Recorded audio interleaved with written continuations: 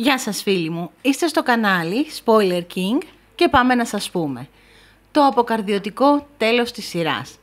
Πριν περάσουμε στο βίντεο φίλοι μου, ένα like και μια εγγραφή μας βοηθάνε πολύ να συνεχίζουμε και σε επόμενα βίντεο.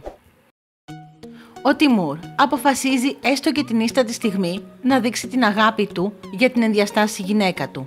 Έτσι αποφασίζει να γίνει δότης ακόμα και με κίνδυνο της ζωής του. Η υγεία της Μπαχάρ βρίσκεται πια σε τελικό στάδιο και άμεσα χρειάζεται ξανά μεταμόσχευση. Αυτή τη φορά τα πράγματα είναι ακόμα πιο επικίνδυνα, καθώς το προηγούμενο μόσχευμα το απέρριψε ο οργανισμός της. Στο μεταξύ τα πράγματα με τον Τιμούρ όχι μόνο δεν πάνε καλά, αλλά οι δυο τους βρίσκονται εν μέσω διαμάχης για την περιουσία εν ώψη του διαζυγίου. Μια πιεστική στιγμή φέρνει λιποθυμία στην Μπαχάρ, μεταφέρεται στο νοσοκομείο και εκεί γίνονται γνωστά τα μαντάτα. Ο Ευρέν γνωρίζει τη σοβαρότητα της κατάστασης και η Μπαχάρ είναι σε απόγνωση κυρίως για τα παιδιά της και φροντίζει μέσω του δικηγόρου της να εξασφαλίσει το μέλλον τους. Την ίδια ώρα, πάνω σε έναν καυγά τους, ο Ευρέν αποκαλύπτει στον Τιμούρ.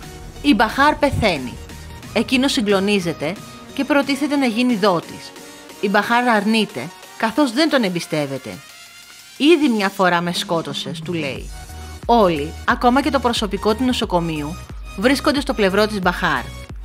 Ο Τιμούρ προσπαθεί να κάνει τους πάντες να πείσουν την Μπαχάρ να δεχτεί το μόσχευμά του, αλλά κανείς δεν τον εμπιστεύεται, καθώς την πρώτη φορά την άφησε στο χειρουργείο και αρνήθηκε να τη βοηθήσει. Ο Ευρέν με τον Αζίζ αρχίζουν τελικά το χειρουργείο του Τιμούρ. Ο Αζίζ τρομοκρατημένος βλέπει το μηχάνημα που είναι συνδεδεμένος ο πατέρας του να σταματά να δείχνει ζωτικές λειτουργίες.